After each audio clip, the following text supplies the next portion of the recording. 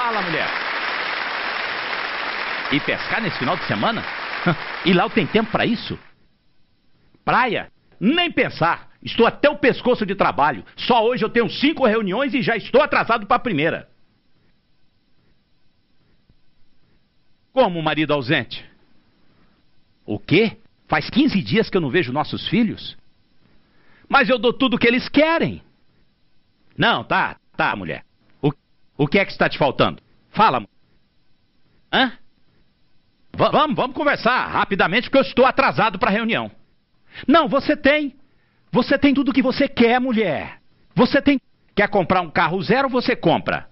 Você quer troca de apartamento, você troca. Tem não sei quantos cartões de créditos para gastar com o que você quiser. O que é que está te faltando? Não me fale, eu te compro. Quê?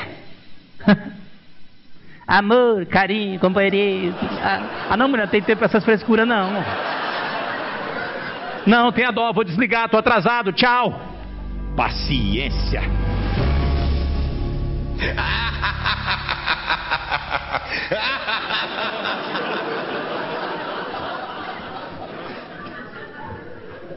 Que que é isso, meu Deus do céu?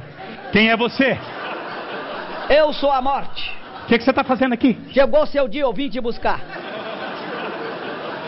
Você tá louco? Eu não tô doente nem nada? Isso é o que você pensa. Há quanto tempo não vai ao médico? Ah, uns cinco anos. Sou sadio igual um coco, sei lá. Consta no meu fichário que você bebe muito, fuma muito, trabalha em excesso, não faz exercício, tá com a veia entupida, colesterol alto. Conclusão, vai dar um infarto agora e eu vim, ó.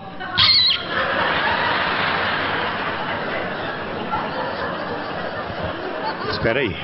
Você tá querendo dizer que eu vou morrer? Agora. Mas isso é uma injustiça, viu? Fique você sabendo que para ter uma velhice digna e de conforto eu trabalhei para morrer. Verdade, trabalhou pra morrer. Se tivesse economizado energia, cuidado da saúde, podia viver mais uns 30, 40 anos, agora se lascou.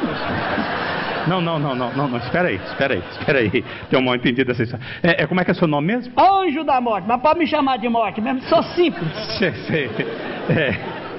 Dona Morte, você sabe que na vida é tudo uma questão de, de, de negócio, né? É. Só não tem jeito pra morte. né? Diga lá. Quanto é que você quer Para me deixar viver aqui mais 40 anos. Pode falar e eu vou fazer o cheque. À vista, à vista. Meu 40 filho, anos. Pode falar. Aqui é onde o filho chora e a mãe não vê. Você se lascou, meu filho, dessa vez.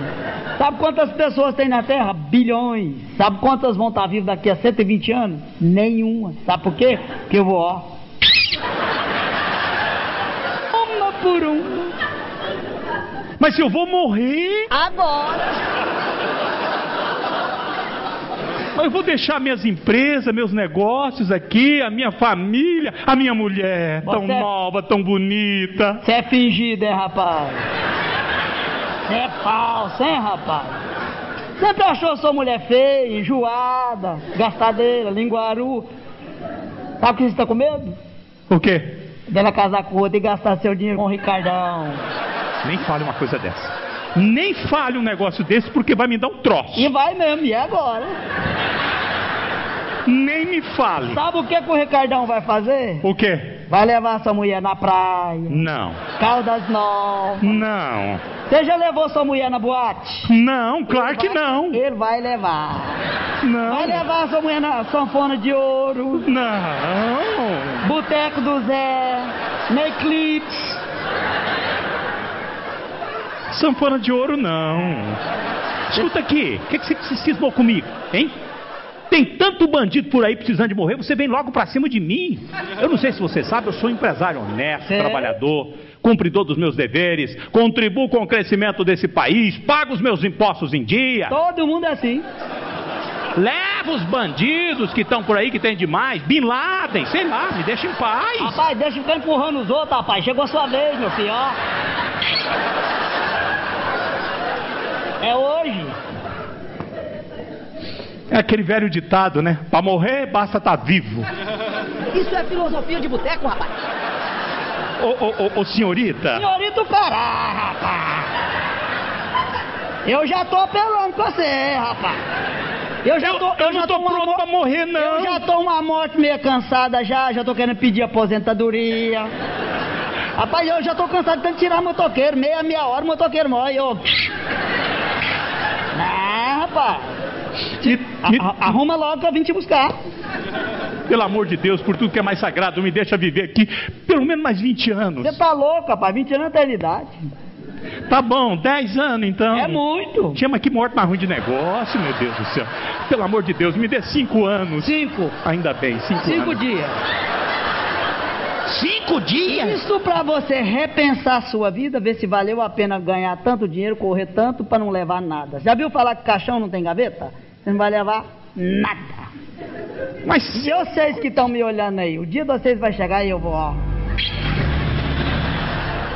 Cinco dias. Ó. Ô.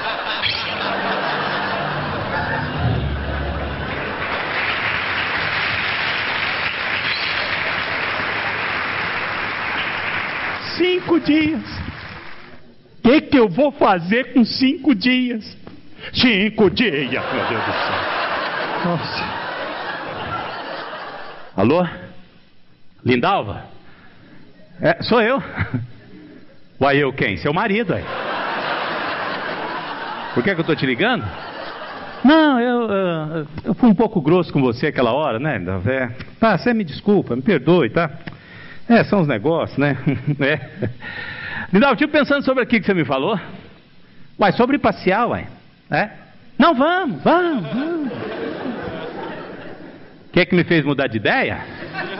Ah, a vida é muito curta, né, Lindalva? É.